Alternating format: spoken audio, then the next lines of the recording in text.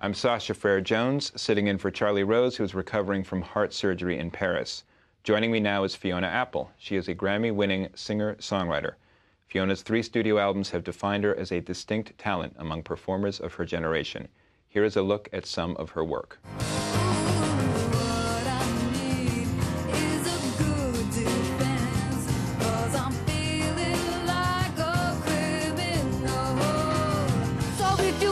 Trying to find my way into your heart from under your skin. Fast as you can, baby, scratch me out, free yourself fast as you can. Oh, Santa, why'd you do it? What'd you do that for?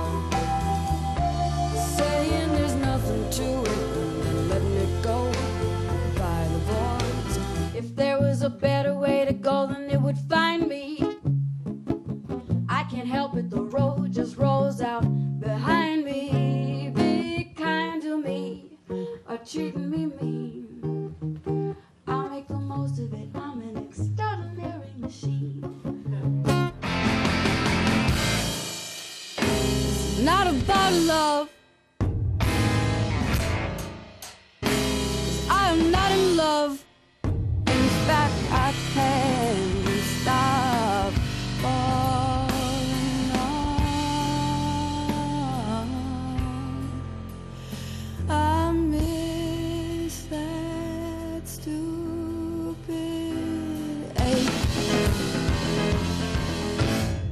Fiona's latest album is Extraordinary Machine.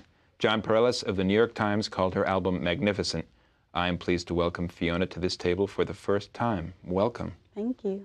This record, uh, Extraordinary Machine, took a while to come out. Short version, or the long version, or the mid-sized version of why it took so long to come out. In a little bit of a nutshell, well, there's a couple of reasons why it took so long. The first reason is just because I took my time in writing the songs, and I wasn't in any kind of rush to put out another album. So that took that was a couple years right there, and then um, I started to make the record with Jon Brion. We did a lot of really good stuff that I'm really proud of, but it just wasn't exactly what I didn't know exactly what my vision was for the album, but I knew that I wasn't there and I wasn't having I wasn't able to really tell Jon what I wanted because I didn't know what I wanted. So um, I Do you really normally felt- know what you, I'm sorry, do you normally know what you want when you go in? well, Jon pr- produced my my second record, When the Pawn, and at that point, I had had all this time to write all the songs, and I and I knew I wanted Jon to produce it, and I and I wrote ten songs, and I invited him over, and I gave him little lyric sheets, and I sat there and I played the songs, and I and I knew I'd lived with the songs for so long that I knew when we went into the studio what what I exactly what I liked and exactly what I didn't like. This and is Jon you're is talking so, about the second record. I'm talking about the second record. That was for the second As opposed record. to this record, where I wasn't quite finished writing, and I wasn't quite sure I even wanted to go in and record again. Um, so when we got there, I kind of froze, and Jon would do a whole bunch of stuff, as he does, because he's really good at so many things. And he'll go in and he'll play every single instrument 10,000 different ways for 10,000 hours. And I'll go home, as I like to do, and then I'll come back and listen to things. And I know exactly what I like and exactly what I don't like and pick and choose out of it. And that's what happened on the second record. On this record, I had no idea what I wanted. So it just basically became more of Jon's record, which was great. The stuff that he's done was great, and I was really proud of it. It's just that I really wanted to do it a different way, but I didn't know how. So I asked to be able to re record most of the songs, eight of the ten songs. And I got hooked up with um, Mike Elizondo, who really wanted to work with me. And this sounds horrible, but I can't even remember how that even started. But I just know that he wanted to give it a try. And when he played the stuff that he, he took some of the tracks home with him and he started from scratch and he made some tracks of his own. And I went in to hear him and like all of a sudden I was like, oh, okay, I know what I want now. This was, it was easy for me to feel like I could captain the ship, you know?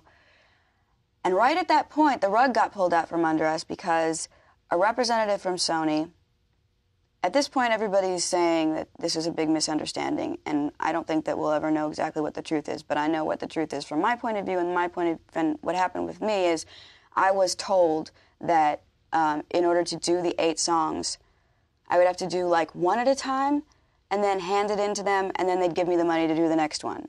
And then I was like, well, maybe can we do two at a time, or can we do three at a time? And that hadn't happened on one of, either of the previous records. No. I never, nobody ever said to me anything. I got it to go in and do everything exactly how I wanted to. And maybe that's rare and I was lucky, but that's how it should be. And I was used to that. Um, so there was like a couple months that went by where it was like, well, maybe can we do three at a time? And I was going back and forth in my head going, should I do this? Should I do this? Then I went, wait, this is ridiculous. This is, if I hand in something to them, then that implies that they're going to have a say in whether or not I get to do another one. And if they don't like it, then one of two things is going to happen. Either they're going to shelve the album, which they mm-hmm. never did, but either they're going to say, we, we don't like this, and then they're going to own a master that I'm proud of, because if I hand it in, that means that I'm proud of it. Um, so they'll own one. Or they'll say, we don't like it, but we would like it if you would just change this one little thing, or if you'd put a bridge in here, or if you'd add this, you know, make this a little peppier. And then that, then they're in on the songwriting. And if I start letting that happen, then I'm dead. So at that point, it just became too much of a drag for me. And I just quit. And I just, I called my manager and I said, just say that I, I'm not going to do the album anymore. I'm done. And um, What did you do after that?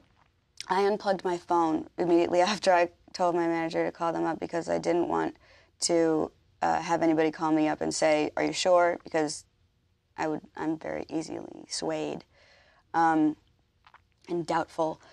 Uh, but um, after that, I kind of, I felt really good and really scared, and I just felt like I was going to do something completely different with my life. And um, then I ended up really kind of not doing anything for a few months. How lo- And- a few months. Yeah, I'm bad with timelines, but it, I think it was a few months. It was How long did it take before you got back to the record? And I mean, what ma- what made you come back to the record? The phone's unplugged. You're sitting there. No one can get to you. well, I, I I'm pretty sure that it was these people called Free Fiona, which I still haven't gone to their site, but it's there's a this You haven't gone to the site once. No this is the what I'm saying about I can't. It's it's a a little I appreciate and I'm in awe of what these people did for me and just the fact that they Can can, you organize. explain briefly what they did? Okay, well, apparently there's this group who called themselves Free Fiona, and they were sending. They had gotten wind that um, Sony had shelved my album, and they were really mad, understandably, that there's some less than stellar music making its way throughout the world, and yet, you know, I was not going to be making my way throughout the world because uh, I didn't have a hit. Um, and so they started. I think they started sending um, apples to the executives at Sony. I don't really even know exact the extent of what they did. They did a protest outside of Sony. I know that because I was in New York when that happened.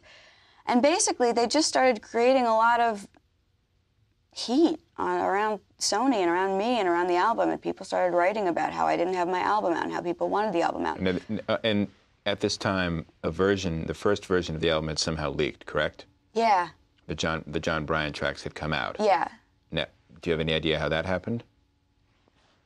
No, actually, a friend of mine just said the other day that who he thought it was, and I thought that I went, "Oh my god, that, that could be right." But I, I'm not So going the- to say who the this grassy knoll for somebody I know, Apple. but I, Okay. but I never, uh, I, I have no idea. Um, I, but I've always thought. I mean, I, I'm pretty sure. I prefer to believe that whoever did it really, really thought, you know, that they were doing something good for me because Well, it wasn't exactly bad press. It wasn't, no, but it still feels like somebody went through your drawers, you know, and showed them to the class. You know, it just it wasn't. I didn't give it. It wasn't done. It wasn't done. So it was a kind of crappy thing to do, I think. But has this album done? But it helped. It helped. When a song starts, is it usually because you've got a word in your head or you've got something in your hands, you've got a, a thing you feel like you want to play? I mean, is there. It it it hardly ever starts with the piano. It'll start with um. It starts with words mainly. I like finding if I find a, a, a phrase or a word that I that I get excited about, it'll immediately have some kind of association to something that's happening in my life. And I won't like go and sit down and I, I never sit down and try to write songs. Um, it I just kind of um, walk around a lot with things in my head, and I, I like to rearrange the words and, and make them so that if I if I say them, the rhythm and sound is fun to say, and the and the sounds and the sounds of the words bounce off each other in a certain way, and they and I like making the rhymes because I always get so amazed that you can always find a rhyme that makes exactly the right sense, like it was always meant to be there.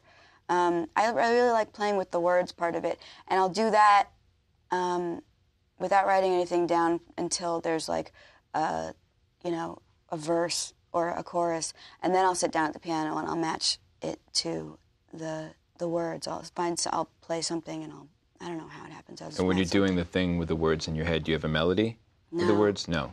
No. You just have a rhythmic cadence for the for the words. Yeah. So sort of like sometimes it happens. Sometimes I just start. Like, sometimes I'll just walk around in my house by myself, and I'll just uh, like this used to happen to me when I was um when I was like in like fourth or fifth grade. I started doing this thing where I would walk home from school, and I always do so much thinking. And when I'm walking, I'd walk home from school, and I'd come in, and I'd open up the door, and at the at that time there was a mirror right when you walked through the door, where there was a mirror and then there was like a little thing where you'd hang your keys on it.